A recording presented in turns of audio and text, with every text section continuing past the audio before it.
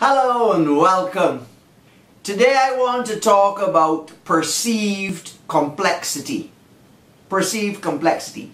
As an educator of more than 25 years, perceived complexity is the biggest problem that students face. Whether they're building electronic circuits, whether they're trying to solve maths problems, whether they're trying to program synthesizers. The perceived complexity is what daunts the students. And yet we can break this down, you know.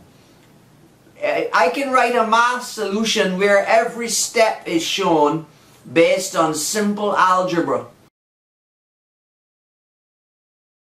They say, oh that looks like a lot of difficult confusion. The more lines you write, the more apparently complex it becomes.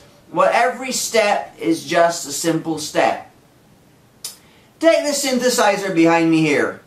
When you look at that in total, it looks horribly complicated and you have no idea how you would even go about uh, plugging it up and getting what you want out of it. And the bigger it is, the more confusing it looks to the average person.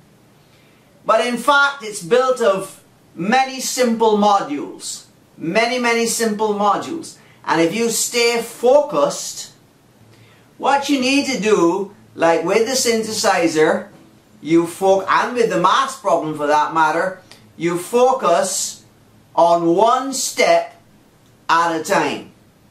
The complexity absolutely disappears. You just stay focused on the important points and you get there.